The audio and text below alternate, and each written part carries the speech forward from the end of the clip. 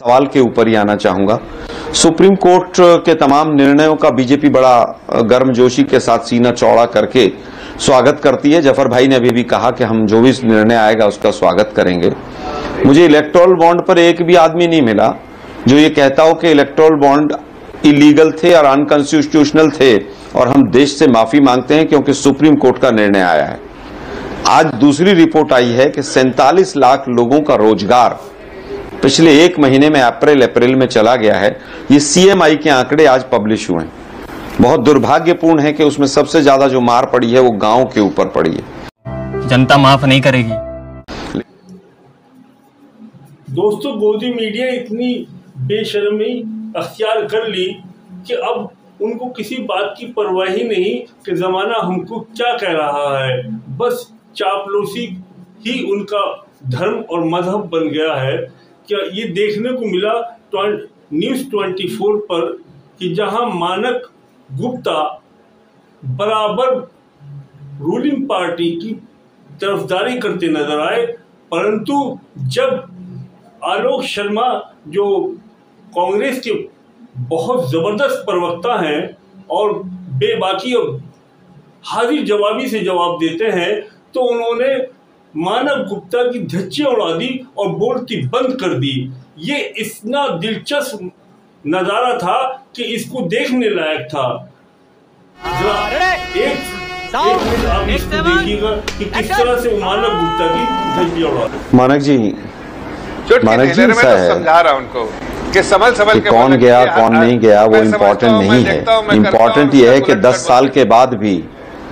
सुनो ना भाई यार ए प्रभु सुनो यार दस साल के बाद भी बीजेपी कांग्रेस के प्रवक्ताओं की और कांग्रेस की कितनी चिंता करती है ये पूरे अभी वक्तव्य में पता चला। मुझे लगता है बीजेपी की यही चिंता जो है इस पूरी भाजपा को कांग्रेस युक्त कर रही है। देश के प्रधानमंत्री कहते हैं कांग्रेस मुक्त और ज़फ़र भाई कांग्रेस युक्त कर रहे हैं बीजेपी को। खैर अब इनको फैसला लेना है क्या करना है क्या नहीं लेना है। आज Damn it! दो चीज़ों पर, तीन चीज़ों पर मैं मानक जी कहना चाहूँगा। सबसे पहले तो आपके सवाल के ऊपर ही आना चाहूँगा। सुप्रीम कोर्ट के तमाम निर्णयों का बीजेपी बड़ा गर्मजोशी के साथ सीना चौड़ा करके स्वागत करती है। ज़फ़र भाई ने अभी भी कहा कि हम जो भी निर्णय आएगा उसका स्वागत करेंगे। मुझे इलेक्ट्रोल बॉन्ड पर एक भी आदमी नहीं मिला जो ये कहता हो कि इलेक्ट्रोल बॉन्ड इलीगल थे और अनकॉन्स्टिट्यूशनल थे और हम देश से माफ़ी मांगते हैं क्योंकि सुप्रीम कोर्ट का निर्णय आया है। आज दूसरी रिपोर्ट आई है कि सैंतालीस लाख लोगों का रोज़गार पिछले एक महीने में अप्रैल अप्रैल में चला गया है। ये सीएमआई के आंकड़े आज पब्लिश हुए हैं। बहुत दुर्भाग्यपूर्ण है कि उसमें सबसे ज़्यादा जो मार पड़ी है वो गाँव के ऊपर पड़ी है। जनता माफ़ नहीं करेगी। लेकिन भारतीय जनता पार्टी के किसी भी नेता की तरफ़ से एक भी वक्तव्य नहीं आएगा। दूसरी चीज़ आज जो दूसरा सवाल आपका है कि बेल मिलनी चाहिए कि नहीं मिलनी चाहिए। देखिए, आज इंटरिम बेल के लिए लड़ाई लड़ी गई, तमाम दलीलें दी गई होंगी सुप्रीम कोर्ट में, और पूरी तरह से जो भी वकील होंगे दोनों तरफ़ के, उन्होंने पूरी तरह से कोशिश की होगी, एक ने कि भाई बेल ना मिले, दूसरे ने कि बेल मिल जाए। लेकिन कल का एक एपिसोड याद कीजिए कि एनआईए के लिए, जाँच के लिए रिकमेंडेशन बीजेपी के ही एक व्यक्ति, जो आजकल एलजी बने हुए हैं दिल्ली के, उन्होंने की थी। अब ये एनआईए की रिकमेंडेशन क्यों की गई? क्योंकि आज सुप्रीम कोर्ट में बेल की एप्लीकेशन लगी हुई थी आज डेट थी। अभी देख सकते हैं आप कि किस तरह से देश की जनता को गुमराह करना किस तरह से न्यायालय के डिसीजंस को प्रभावित करने के लिए कदम उठाना ये पूरा देश देख रहा है। जो भी सुप्रीम कोर्ट का निर्णय होगा हमें पूरी उम्मीद है कि सकारात्मक निर्णय होगा आलोक और कहीं ना कहीं उनको थोड़ा खुल के बताइए ना। प्रचार के लिए सीधा सीधा कहिए ना कोर्ट बीजेपी ने पहले ही प्लानिंग कर ली। अगर शराब घोटाले में अंतरिम जमानत मिली तो एनआईए खालिस्तान वाले केस में उठा लेंगे। वाह बेटा लगता है तुम गू खा के ही मानोगे। देखिए ये एक एक मैटर नहीं है। चिदम्बरम जी का मैटर देखिए आप डी के शिव कुमार का मैटर देखिए और दसियों मैटर आपको मिल जाएँगे। एक पत्रकार आए थे केरला से उनके खिलाफ भी इसी तरह की घटनाएँ थी। एक केस में जमानत मिले तो दूसरे में अंदर कर दो दूसरे की जमानत की अर्जी लगे तो तीसरा केस ही कर दो। ये बीजेपी का पैंतरा है। ओके। और इसीलिए मोदी जी घबराए हुए हैं। ये तमाम जो 10 साल तक उन्होंने तमाम जो इस तरह के कदम उठाए हैं इसीलिए तो राहुल गांधी जी कह रहे हैं कि संविधान में को अच्छा खतरा ठीक है। अब मैं आपसे तुम्हें शर्म है कुछ? कुछ शर्म आया है? का ओके। चुनाव है ये जो आम चुनाव अब मैं आपसे ईमानदारी से ईमानदारी से अब मैं आपकी तरफ़ एक गुगली फेंकता हूँ। अरविंद केजरीवाल की जमानत पर अंतरिम जमानत पर अगर रिहाई हुई आलोक शर्मा दिल्ली में तो आपके पक्ष में जाएगा। लेकिन पंजाब में क्या होगा? अरे वो पंजाब में आकर भी प्रचार करेंगे वहाँ तो आपके खिलाफ प्रचार करेंगे। इसीलिए मैं समझ नहीं पा रहा हूँ कि आप केजरीवाल की जमानत का स्वागत कर रहे हैं मानक जी। या फिर आप गोल गोल कर रहे हैं? भाई साहब कुछ ज़्यादा नहीं हो गया मतलब कुछ भी। मानक जी आज सवाल ये नहीं है कि केजरीवाल की जमानत होगी कि नहीं होगी।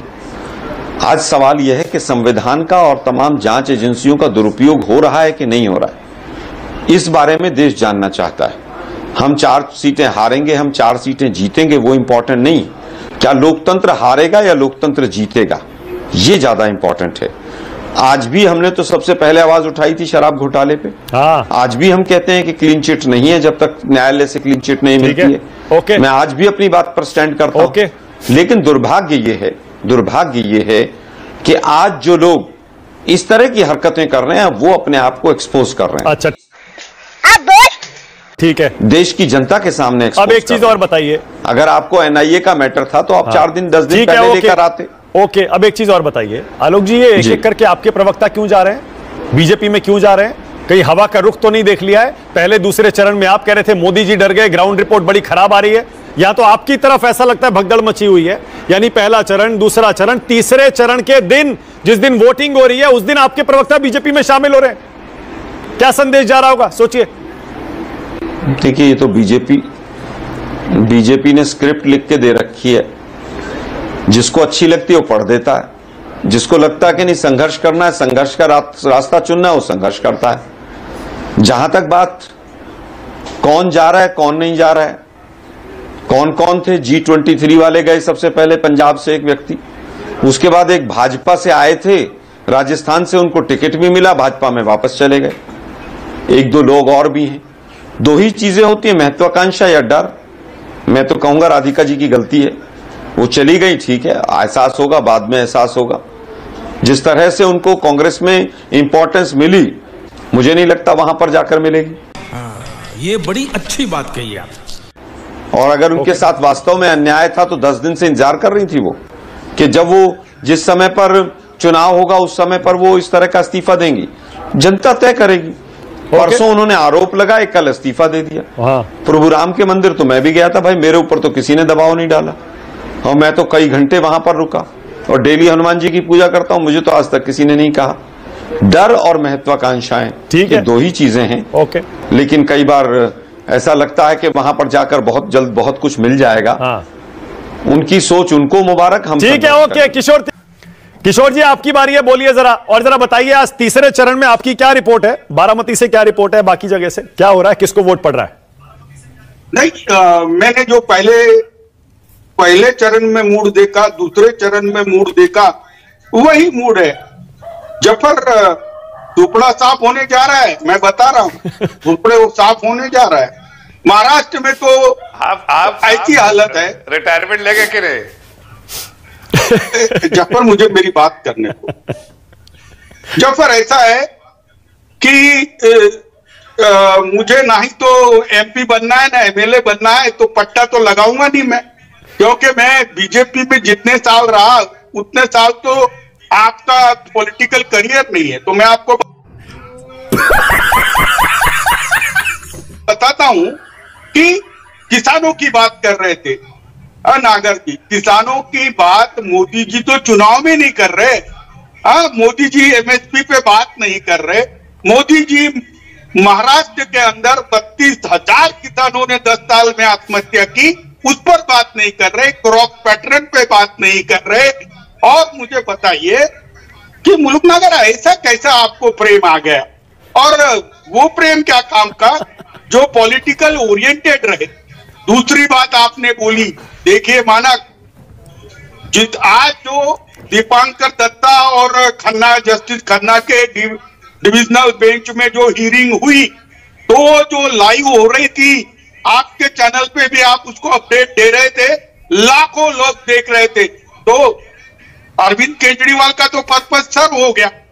अब कोर्ट उनको छोड़ना चाहता है तो सुप्रीम कोर्ट उन्हें जेल में क्यों रख रहा है?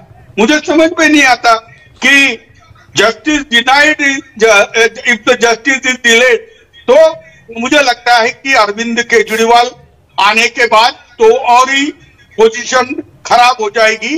अब आपके आपके पत्रकारों ने लाइव रिपोर्टिंग दिन भर किया। अच्छा मैं लास्ट टाइम भी तुम्हें कहा था। किशोर जी मैं लास्ट टाइम भी आपको हाँ। एक मिनट एक मिनट हाँ।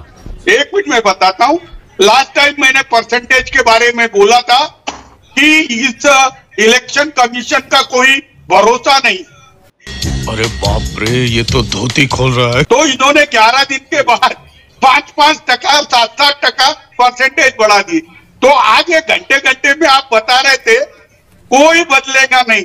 लोग लाइन लगाकर इंडिया गठबंधन को वोट कर रहे हैं। हाँ। हाँ, अच्छा, ठीक है। अब मैं सवाल पूछूँ? बदल लो। अब मैं सवाल पूछूँ? बदल लो। किशोर। मलिक भाई मलिक भाई मुझे ऐसा लग रहा है कि बसपा का खाता नहीं खुलना था और बसपा का सारा वोट इंडिया गठबंधन को आ गया है। इसीलिए मलूक भाई जो हैं वो उधर चले गए लेकिन वो थोड़ा सा मौसम को देख के थोड़ा सा गड़बड़ कर गए वो। सही मौसम का उनको आकलन हो नहीं पाया। खैर वो चार तारीख को बात करेंगे। इमोशनल अब बात आती है इलेक्शन कमीशन की मानक जी कि किसको कितना वोट पड़ा। सुबह से न्यूज़ 24 और तमाम चैनल्स बता रहे हैं कि इलेक्शन कमीशन बता रहा है कि भाई 9 बजे तक कितना 10 बजे तक कितना 12 बजे तक कितना 4 बजे तक कितना 5 बजे तक कितना सारा वोट परसेंटेज इलेक्शन कमीशन बताता है। लेकिन दुर्भाग्य है कि पहले फ़ेज़ का जो वोटिंग परसेंटेज 11 दिन के बाद बताया गया कि कितना वोट पड़ा। और जितना उस दिन पहले वोटिंग फ़ेज़ के लिए 19 तारीख को बताया गया, उससे लगभग 6 प्रतिशत बढ़ गया। ये देश के लिए बहुत चिंता का विषय है। क्या आप हर घंटे बता सकते हैं? लेकिन टोटल वोट कितना पड़ा वो आज तक आपने नहीं बताया। परसेंटेज बताते हैं आपके छियासठ परसेंट पड़ गया। अरे वो छियासठ परसेंट सौ का है 105 का है 110 का है किसका छियासठ परसेंट है? देश की जनता जानना चाहती है लेकिन दुर्भाग्य ये है कि चुनाव के दिन भी मोदी जी के इंटरव्यू चलते हैं। आम गुठली पर्स बटुआ रुमाल पता नहीं कौन कौन से इंटरव्यू चल रहे हैं आजकल वो आ, मीडिया के साथ ही हमारे ले रहे हैं। खैर चार जून को तो मीडिया के अच्छा, जी। साथी भी मुक्ति पाएँगे। आलोक जी।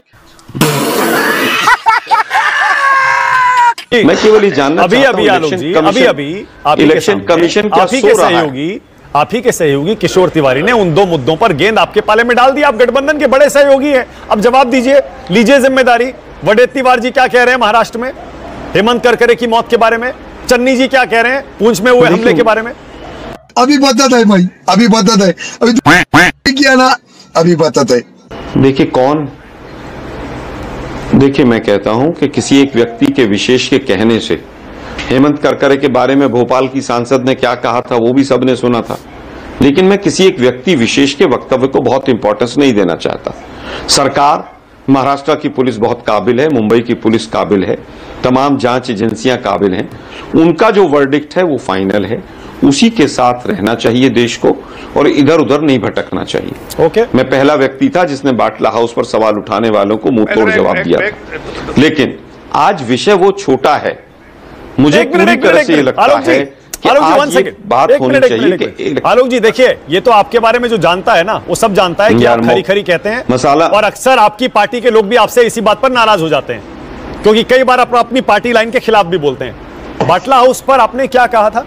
क्योंकि बाटला हाउस पर तो सलमान खुर्शीद का बयान ये था जो मीडिया में था कि सोनिया गांधी रोई थी। देखिए मैं आपकी लाइन क्या थी उस पर? मैं आज फिर कहूँगा मैं आज फिर कहूँगा अरे मानक जी इतनी बड़ी बड़ी खबर दी आप मसाला ढूंढ रहे हैं। हाँ। मैं फिर कहूँगा कि जाँच एजेंसियाँ पुलिस विभाग सरकार गृह मंत्रालय जो वक्तव्य देता है देश को उस पर भरोसा करना चाहिए। किसी के निजी बयान किस वजह से हैं क्यों हैं उस पर ध्यान नहीं देना चाहिए। लेकिन दिक्कत यह गोदी मीडिया को सलमान खुर्शीद जी के बयान तो याद रहते हैं लेकिन एमएचए के बयान याद नहीं रहते इससे ज़्यादा मत कहलवाइए मैं और कुछ गड़बड़ करूँगा फिर। मैं केवल ये कहना चाहता हूँ। मैं आज भी कह रहा हूँ कि कोई भी जाँच एजेंसी कोई भी पुलिस विभाग गृह मंत्रालय सरकार जो कहती है उस पर हमें विश्वास करना चाहिए। और अगर उसके वक्तव्यों में कहीं पर कोई गलत चीज़ आती है तो उस पर सवाल भी खड़े बहुत बढ़िया बहुत बढ़िया। ये नहीं बोलिए ज़फ़र इस्लाम बोलिए। कोई और जवाब दीजिए आलोक शर्मा कह रहे हैं इलेक्शन कमीशन कैसा काम कर रहा है भाई? नहीं एक मिनट आंकड़ों में गड़बड़ी तो नहीं एक मिनट सुनिए जरा। सुनिए भाई एक मिनट मैं अंतिम बात कहना चाहता हूँ। ज़फ़र भाई एक मिनट। गुजरात में गुजरात की बस का अमरनाथ यात्रा में एक्सीडेंट हुआ था सात यात्री शायद उसमें मरे थे। एक मिनट सुनिए ना भाई जरा। सुनिए ना भाई जरा। मोदी जी की सरकार जहाँ जहाँ जब जब होती है, उस पर प्रश्न चिन्ह लगते हैं कि वो जम्मू कश्मीर में आतंकवाद का चुनाव में कहीं फ़ायदा तो नहीं उठा रहे ये भी सच है। कारण है उसका कि पुलवामा के ऊपर 50 सवाल उठे। आज तक जवाब नहीं मिला। अभी न्यूज़ 24 पे चार लोग बैठे हुए मुझे बताइएगा कि पुलवामा में साढ़े तीन सौ किलो आरडीएक्स कहाँ से आया? वो किसकी गाड़ी थी? कौन सी गाड़ी थी वो? मारुति थी फिएट थी एम्बेसडर थी महिंद्रा की थी बोलेरो थी क्या था वो? पूरे देश को आज तक नहीं पता चला है। इसलिए सवाल भी खड़े किए जाते हैं। ठीक है, वहाँ के गवर्नर साहब ने भी सवाल खड़े किए थे। अक्षरधाम कब ओके, हुआ? ज़फ़र कैसे हुआ? बोलिए ज़फ़र भाई, आपकी बारी, 2017 में जो अमरनाथ यात्रा पे गाड़ी बस गई। गुजरात की उसका रजिस्ट्रेशन नंबर नहीं था उसकी कहीं बुकिंग नहीं हुई थी। तमाम सवाल है। मैं सिर्फ़ इतना कहना तुम चुल्लू भर पानी में जाके डूब के मर जाओ। खत्म। Bye bye tata good bye गया। दोस्तों इस वीडियो के अंदर हमारा रिएक्शन कैसा लगा? यदि आपको अच्छा लगा पसंद आया तो वीडियो को लाइक करें कमेंट्स करें बेल आइकन दबाएँ और वीडियो को ज़रूर सब्सक्राइब करें।